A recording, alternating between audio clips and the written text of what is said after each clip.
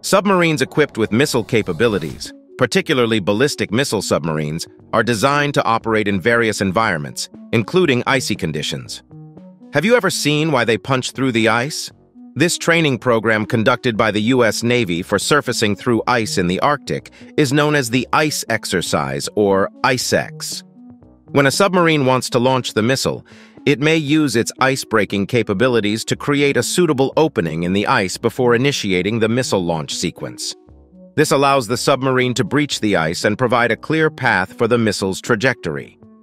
The ice-breaking capability of the submarine's hull and its powerful propulsion systems enable it to exert pressure on the ice and create a hole or open water area through which the missile can be launched.